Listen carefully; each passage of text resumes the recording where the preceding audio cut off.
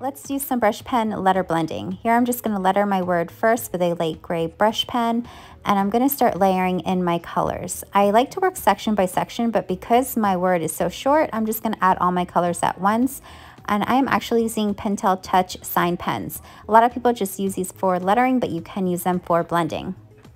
Then with a paintbrush and water, I'm to start blending in my colors. You can also use a water brush. It is personal preference. And I am using watercolor paper so it can handle the water. Um, if you use marker paper, I would just go pretty light with the water just in case that the, the paper shreds. You can also use um, Bristol paper, which is a little bit heavier as well.